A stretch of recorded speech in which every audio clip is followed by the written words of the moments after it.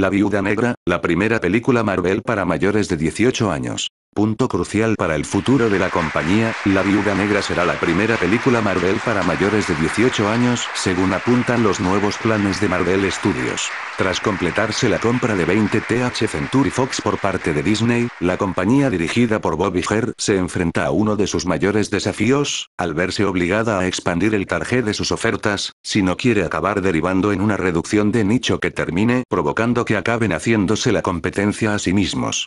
Ya no vale el somos una empresa familiar, inaplicable a personajes como los Simpsons, Padre de Familia, John McClane o Alien. Ni siquiera para Deadpool, Daredevil o Punisher, personajes que ya por definición solo funcionan en territorios mucho más sucios, mal hablados o llenos de humor ofensivo, cerdo y eso es de lo que la compañía de Mickey Mouse y Ralph rompe Internet se puede permitir. Con el problema extra de que los espectadores que han crecido con 11 años de Marvel Studios, 19 de X-Men, 21 años de Pixar y 40 y uno de Star Wars no van a conformarse con que todo lo que ofrezcan esas franquicias se niegue a crecer con ellos, y opten por mantenerse apegados con el público juvenil, se hace necesario que Disney marque una mayor diferenciación con sus empresas satélite, dando más oportunidad a estas para que expandan su oferta hacia el público adulto que la Lucasfilms de Kathleen Kennedy haya contratado los servicios de los creadores de la adaptación en serie de Juego de Tronos para hacer una nueva saga de películas de Star Wars ya deja bastante claro que ese parece ser el rumbo a seguir de la compañía.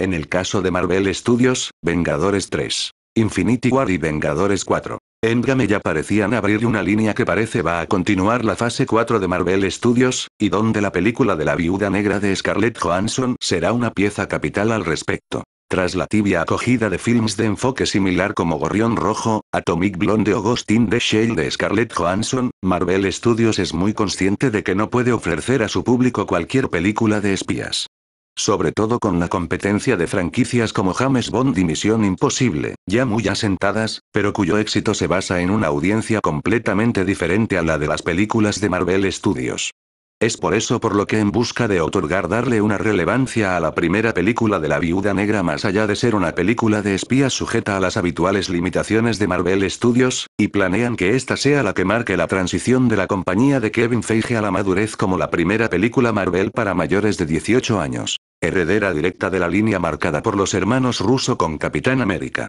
Soldado de Invierno y Capitán América. Civil War, la compañía es consciente de la necesidad de que Marvel mantenga una amplia diversidad de tonos, donde a proyectos más juveniles y joviales como las películas de Spider-Man se sumen otros que se atreven a abordar temas que una sociedad que ha crecido con ellas y el público Marvel necesita que sean capaces de tratar dejando abierta la duda de hasta dónde se atreverán a llegar con ello y que ofrecerá la película en solitario de la viuda negra para seguir manteniéndose conectada con el núcleo central de la saga sin que parezca fuera de lugar, lo que está claro es que Marvel Studios no quiere repetir los fallos que cometió 20 TH Century Fox cuando no dejó a Gavin Ott que llevase a cabo sus planes de que X-Men Origins Wolverine fuera todo lo oscura y adulta que necesitaba ser, y sus planes es que la viuda negra de Scarlett Johansson sea la primera en abrirse camino en esa dirección. Planes de la compañía de los Vengadores de que la viuda negra sea la primera película Marvel para mayores de 18 años que romperá los tabúes que han guiado a Marvel hasta ahora. Dejen sus comentarios en la caja. No se olviden de suscribirse a mi canal. Gracias y hasta el próximo vídeo.